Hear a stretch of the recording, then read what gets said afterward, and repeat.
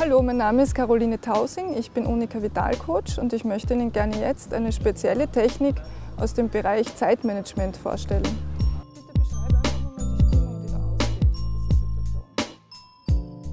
Wer gut mit seiner Zeit umgehen kann, also Herr seiner Zeit ist, erhöht wesentlich seine Lebensqualität. Das Zeiterleben selbst ist mental und subjektiv beeinflusst. Stellen Sie sich vor, Sie warten eine Stunde lang auf den heiß ersehnten Besuch. Diese Stunde kann zu einer Ewigkeit werden.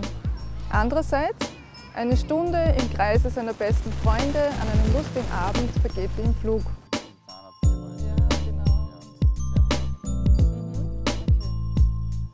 Denken Sie jetzt an ein zukünftiges, unerfreuliches Ereignis.